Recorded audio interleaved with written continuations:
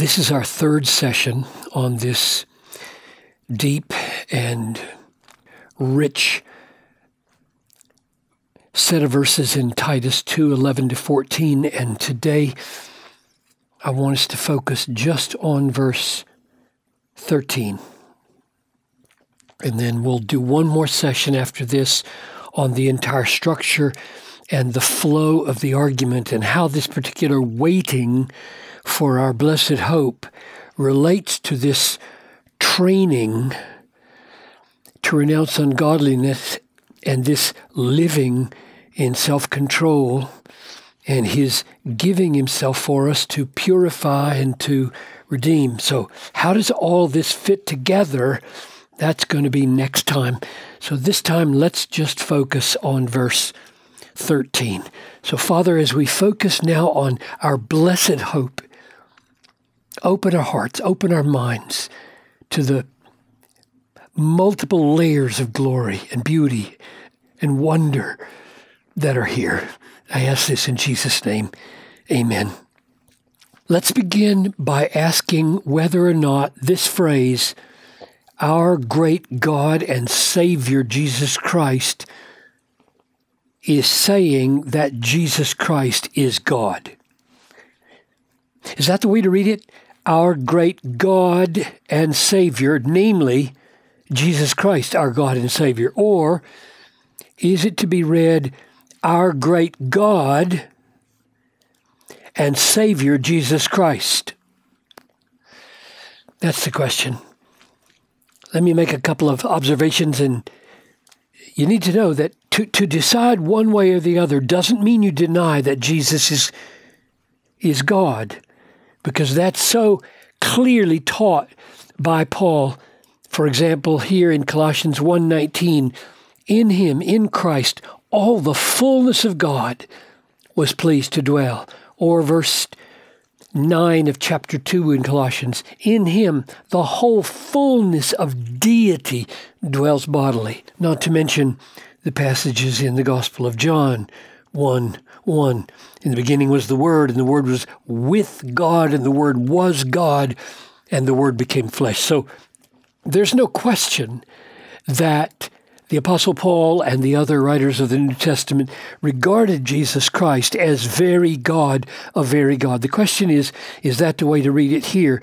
I'm inclined to think that it is, though I just read responsible commentators who say that it's not. Let me just give you a couple of observations the one that seems powerful to me is that here, the previous verse, just before the unit we're looking at, verse 10, says, So that in everything they, that is, the servants, may adorn the doctrine of God our Savior.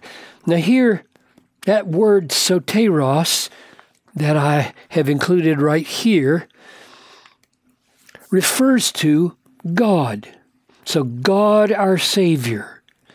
So, since that's the immediate context, and I go back and try to read that here, the appearing of the glory of our great God, I'm disinclined to separate the word Savior from God, since it's so closely united to God in verse 10, and connect it only with Jesus as if we have a great God here and then a Savior, the Lord Jesus.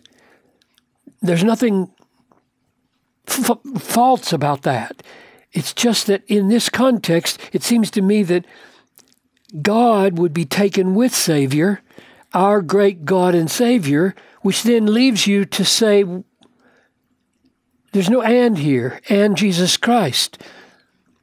The Savior goes here, and then Jesus Christ becomes the designation of the God and Savior. So that's my contextual argument that you can even see in English. There are some details with the article in Greek. So I don't want you to pin your whole doctrine of the deity of Christ on this, but I'm inclined to go there. And at least we can say this here in Matthew 16 27, the Son of Man is going to come with his angels in the glory of his Father and in Matthew 25 31, the Son of Man comes in his glory. In his glory. So, 1627, the glory of his Father, he's coming again. And Matthew 25 31, he's coming in his own glory. Just to point out here that our blessed hope is the appearing of the glory, and it's one glory the glory of the Father and the glory of the Son, which are united, I'm suggesting, in the glory of our great God and Savior, namely Jesus Christ. However, that should be taken, we know from other passages that Paul did see Jesus Christ as our God and Savior. And God Himself, the Father, is also the Savior. That's my first observation. I take Jesus Christ here to be our great God and Savior. Second observation the word hope. What is the hope in Titus? Now we have it right here, but let's broaden out our observations and notice at the very beginning of Titus, Paul, a servant of God and an apostle of Jesus Christ, for the sake of the faith of God's elect and their knowledge of the truth, which accords with godliness in hope of eternal life. So the hope here is the hope of eternal life. Here it is again in Titus 3 7. Being justified by his grace, we have become heirs according to the hope of eternal life.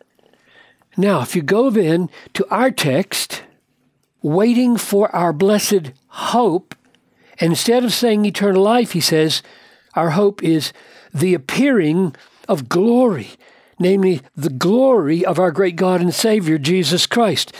Now, putting those together for me suggests that the, the, the essence or the, the heart of eternal life is precisely, we're going to see uh, this appearance of glory Glory, the experience of glory is the essence and the heart of eternal life. And not just the effect it has on our our eyes and our heart, but the effect it has on us by transforming us, right?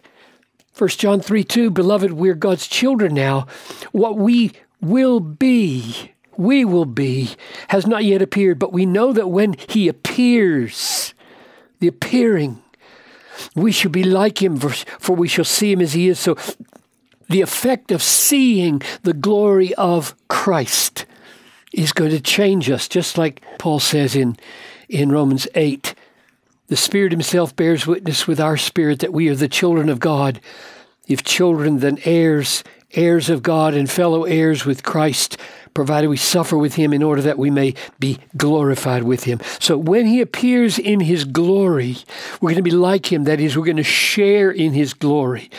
It would be a terrible thing, wouldn't it, to see the glory of Christ and remain sinful, not be purified of all our inglorious stains. But if, if we could share his glory, then we might have the capacities to enjoy his glory as we truly ought. Why is it called a blessed hope? A happy hope. This Makarios means happy. All hope is happy hope.